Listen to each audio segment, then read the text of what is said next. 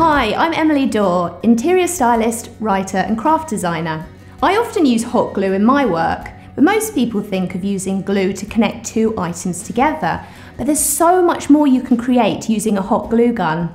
So today I'll be showing you a few different techniques. How to create jewellery using glue, how to create 3D objects, how to create a 3D effect on, for example, a vase, how to use paint and glue together, and how to create a stamp. So the first thing you need to do is you need to plug in your glue gun. And you want to wait a couple of minutes for the glue to soften, and then after a couple of minutes, just flip the stand back, pull the trigger, and hopefully your glue should come out. Never force the glue through the glue gun and watch out for the nozzle as it can get really hot. So I'm going to show you how to make a necklace out of glue. So the first thing you need to do is you need to protect your work surface so you can use a glue pad or like me, I'm using greaseproof paper. So I'm just going to take a sheet of gold leaf and I'm going to start scratching some of it away from the surface. Now the reason that I've put the gold leaf on first is because you want to have the gold right at the front of the necklace so it really pops. So I've set my glue gun to the lowest temperature, just means it's a little bit easier to work with. Now I'm just going to press lightly, it will pick up the gold leaf slightly and I'm going round in circles. This way it gives a nice even surface to the glue. You want to make it slightly bigger than the necklace that you intend to make. There we go. And then you just want to set that to the side for about 10 to 15 minutes. So you want to make sure that the glue has completely dried. And the way that we can tell this is the glue has gone from transparent to opaque. And I'm just simply going to peel it off from the greaseproof paper. So depending on what sized pendant you want to make, I find using a coin really useful to draw around. There's the pendant size. Now I just need to cut round it. So the edges of the pendant are still a bit rough, so what I'm going to do is use a bit of sandpaper just to smooth those down. So I want to add some extra sparkle to my pendant, and to do this I'm going to add some extra gold leaf around the edge. I'm going to be using this special glue which is called acrylic size. So I'm just going to apply a little bit of the size to the edge of my pendant using a paintbrush. So once the glue around the edge has gone tacky, it's time to add the gold leaf. So as before, I'm just going to scrape off some of this gold leaf. I'm going to put that directly onto my pendant. So just simply press it onto the edge. It's time to get brushing away the excess. So once you're happy with how your pendant looks, you need to create a hole which will be for your chain which will create your necklace. Now to make the hole, you simply heat up a needle on a candle, but don't forget to wear protective gloves, and then simply push the needle through the glue, and you're done.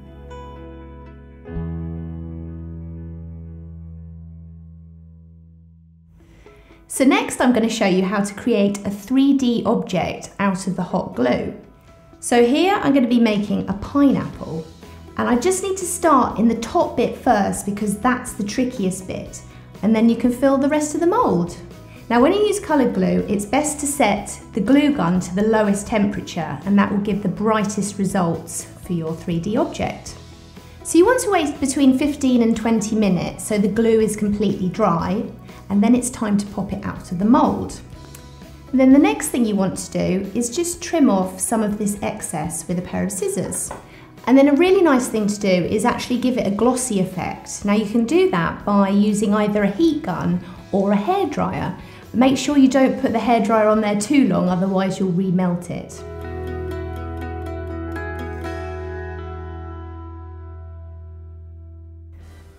So the next technique I'm going to show you is how to create a 3D effect on a vase. So the first thing you need to do is make sure your vase is nice and clean of any dirt or grease. Just give it a wash with some soapy water.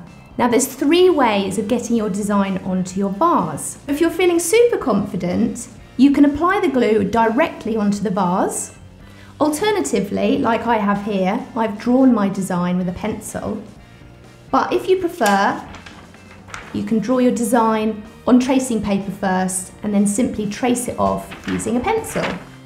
So now for the gluing. You want to keep quite a steady hand when you do this. Now you don't want to go too fast and you don't want to go too slow, otherwise you'll get bobbly bits or you could get stringy bits. And then on the tip of each petal, I'm just going to make a bit of a bobble on the end. And then to stop the string, you simply just twist the gun round and the string will disappear. So now that I've finished the gluing, you might just find that you've got a few stringy bits and you can remove those really easily with just a pair of tweezers. So what I like to do is spray paint my entire vase. It gives a really lovely professional effect. It smooths things over and covers all of those pencil marks.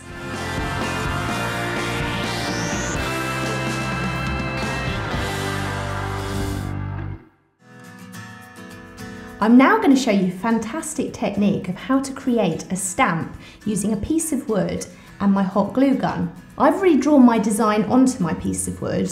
I've decided to do a leaf. And now I'm going to trace over it with glue. Make sure the thickness of the glue is consistent throughout the whole stamp. So once you've finished gluing, you want to leave it to dry for about 10 to 15 minutes. So now it's time to add some coloured ink. Now I'm going to use these colourful inks, but if you like, you could actually choose to use some fabric paint and stamp your design onto an item of clothing. Once you've inked the entire stamp, it's time to get your piece of paper. Now I'm going to leave my stamp this way up and actually press the paper directly onto the stamp. That way I can actually feel all of the grooves of the stamp so it gets a really good impression. And as you can see, it's created a beautiful stamp.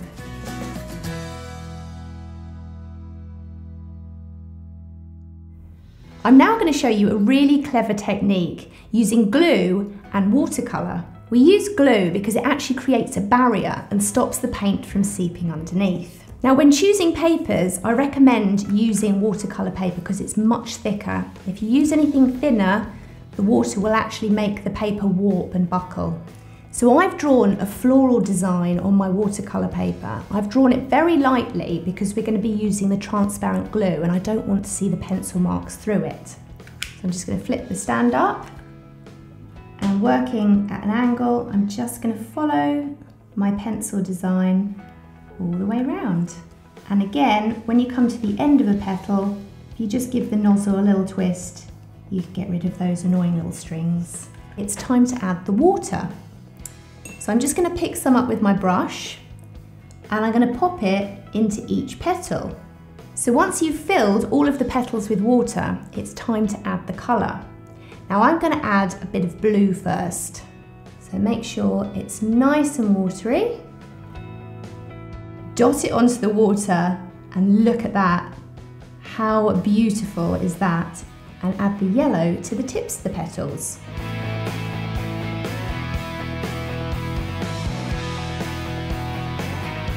So I'm going to actually add a wash to mine to really make the flowers pop out. And I'm going to leave the glue as well for that lovely 3D effect.